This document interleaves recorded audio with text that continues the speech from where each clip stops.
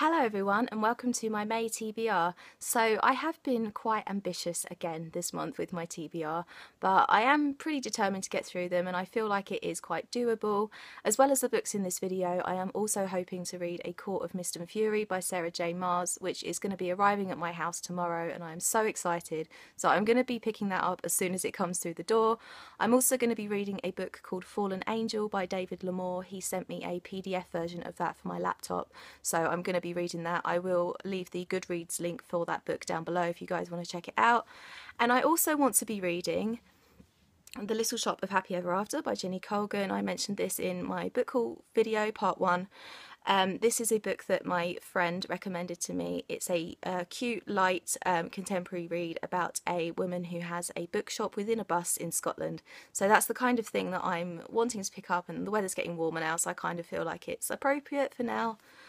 I also want to read The Night That Changed Everything by Laura Tait and Jimmy Rice. These are the same two authors that wrote a book called The Best Thing That Never Happened to Me, which I read earlier on in the year and absolutely adored. This is in a similar vein to that. It's about a couple who are perfect for each other, and then one night they uncover a secret about their past, and it's kind of their relationship is thrown into question.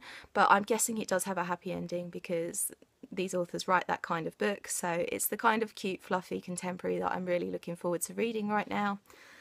And I'm also going to be reading a series this month that I should have read a long time ago, but I am going to be reading it, and that is the Percy Jackson series by Rick Riordan. The first one is The Lightning Thief. You can see these gorgeous covers, these are the Disney Hyperion editions. The second one is The Sea of Monsters. The third one is the Titan's Curse. The fourth one is the Battle of the Labyrinth. And the fifth one is the Last Olympian.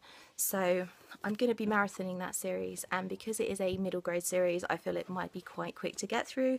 Um, they're not actually that long either, so yeah, I'm looking forward to getting to those and hopefully loving them as much as everybody else does. Um, I also want to show you this little poster that came with that box set.